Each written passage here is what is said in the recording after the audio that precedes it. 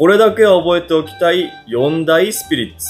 カクテルベースとしてよく使われるスピリッツ蒸留酒には、ジン、ウォッカ、ラム、テキーラが挙げられます。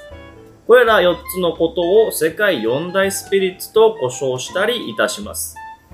それぞれの特徴を軽く触れていくと、ジン。原料は穀物です。ボタニカル、植物やハーブ、フルーツなどで香り付けしていることが特徴です。ウォッカ。ウォッカも穀物を原料としています。じゃがいもだったり、大麦だったり、小麦だったり、いろいろ使われます。白樺の炭でろ過することによって生じるクリアでスムースな飲み口が特徴です。ラム。ラムはサトウキビの糖蜜を原料にしたお酒で、主にカリブ海沖、中南米で作られております。そしてテキーラ。テキーラはリュウゼツランという多肉植物を原料にしており、メキシコ生まれのフルーティーで華やかなスピリッツです。